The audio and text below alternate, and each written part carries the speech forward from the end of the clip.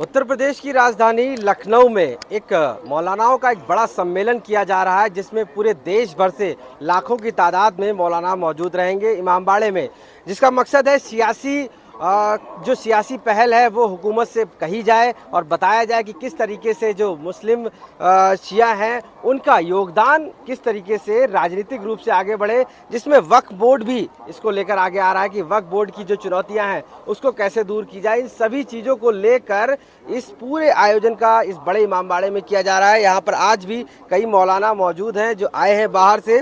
वक्फ board के chairman Ali Zaidi भी हमारे साथ मौजूद हैं। ये बताइए अली जैदी जी, किस तरीके का ये प्रोग्राम प्रोग्राम होगा और क्या है ये? देखिए, ये जो प्रोग्राम है, शिया महासम्मेलन जो कल्ब जवाब साहब की और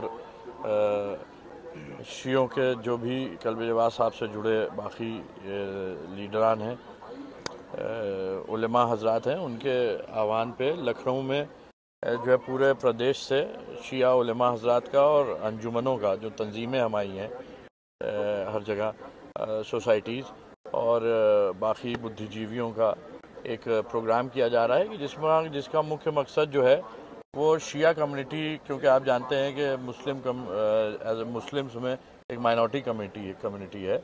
और इसको सियासी जो है मुख्य धारा से जोड़ना, इसको सामाजिक मुख्य धारा से जोड़ना।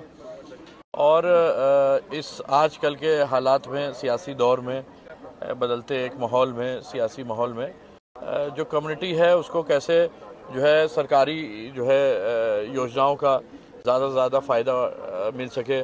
हमारा जो यूथ है, उसको एम्प्लॉयमेंट हाउसिंग और एजुकेशन से कैसे जोड़ा जा सके।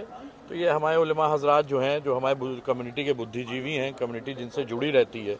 और अंजुमने जो हमारी हैं ऑर्गेनाइजेशंस पूरे उत्तर प्रदेश की, जिसके जो है यहाँ पे मेंबर सब मौजूद हैं और बड़ी मात्रा में आ रही हैं।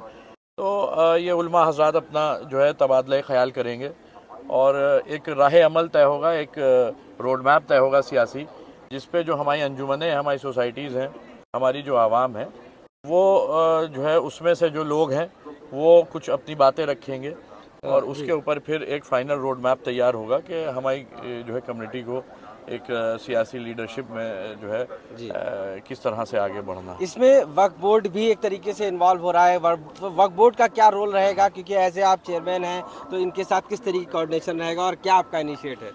जी ये जैसा कि मैं आपको बता दूँ कि एक बहुत ही नई पहल की जा रही है वक्फ बोर्ड की भी हिस्ट्री में। इसलिए कि आप जानते हैं कि पूरे प्रदेश में यूपी शेयर सेंट्रल वक्फ बोर्ड के अधीन अवकाफ हैं उनकी बड़ी ज़मीनें हैं कई इदारे हमारे अंडर चल रहे हैं मदरसे चल रहे हैं इंटर कॉलेज चल रहे हैं तो उसके अंदर किस तरह से मैक्सिमम इन सारी लैंड बैंक को इन इदारों को इन चीज़ों को इससे होने वाले रेवेन्यू को कम्युनिटी के इस्तेमाल में डायरेक्ट बेनिफिट प्रोग्राम के तहत लाया जा सके इसके अच्छा। ऊपर जो है गहन चर्चा और एक हमारा जो फार्मूला है वो हम पेश करेंगे कम्युनिटी को। लगभग कितने लोग इसमें शामिल हो रहे हैं और कहाँ कहाँ से शामिल होंगे? देखिए जिस तरह से इनविटेशंस भेजे गए हैं और हमारे पास इनविटेशंस के जो है जो जवाब आए हैं और जिस तरह से जो है लोग रवाना हो चुके हैं क्योंकि प्रदेश आप जानते हैं बहुत बड़ा है तो पश्चिम से हमारे लोग रवाना हो चुके हैं पूरब से हमारे लोग रवाना हो चुके हैं बसेस चल चुकी हैं। तो अनुमानित जो आंकड़ा है वो करीब जो है एक लाख के ऊपर होने वाला है यहाँ पे। ओके। जी।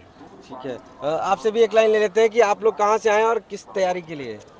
देखिए, हम लोग यहाँ तैयारी का जायज़ा लेने के लिए आए हुए हैं कि ये जो शिया महासम्मेलन है, ये किस, उसका प्रारूप क्या है, उसकी कैफियत क्या है? हमारा ताल्लुक जौनपुर से है। मैं जामिया इमाम जाफ़र सादिक इस्लाम का वो मैनेजर हूँ और Shia trust, trustee committee, Shia college की जो आरडीएम शिया ट्रस्टी कमेटी है, उसके वाइस प्रेसिडेंट हैं। साफ़ तौर से जिस तरीके से वक्त बोर्ड भी शामिल हुआ, उसका मानना यही कि जो प्रॉपर्टीज़ हैं, उसको कैसे मुस्लिम माइनॉरिटीज में, कम्युनिटी में उसको यूज़ किया जाए, कैसे उसको उपयोगी बनाया जाए, इसलिए वक्त बोर्ड भी इसमें शामिल हुआ है। और इसीलिए सारे मौलाना जो देश भर से आ रहे हैं, उनके साथ बैठ कर यहाँ पर हुकूमत तक अपनी बात पहुँचाई जाएगी।